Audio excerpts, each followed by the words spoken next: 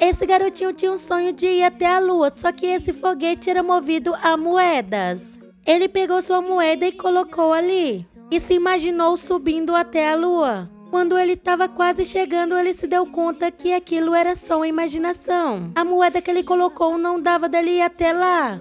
O foguete precisava de mais moeda e ali ficou balançando. Sem sair do lugar, o garotinho já estava triste.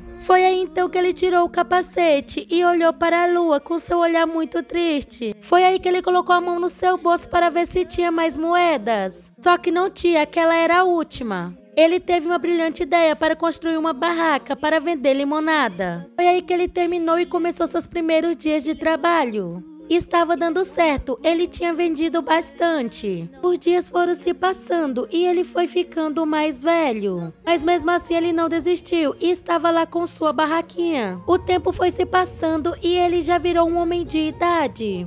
Quando ele olha para o lado, ele vê seu saco de dinheiro. É aí que ele decidiu fechar sua barraca e foi atrás do seu sonho. Ele foi andando até se deparar com um foguete. Os olhos dele chegaram a brilhar de tão feliz que ele estava. Então ele pega aquele saco de moeda e coloca todinho naquele foguete. Ele entra no foguete muito feliz e coloca seu capacete. Os seus olhos não paravam de brilhar de tão feliz que ele estava. Ele deu a primeira partida no foguete, mas o foguete não subiu e foi ali que ele ficou triste. Mas mesmo assim ele não desistiu e colocou sua última moeda. Foi aí que algo inesperado aconteceu. O foguete começou a se balançar todo. E foi aí que ele realizou seu sonho. O foguete foi até a lua.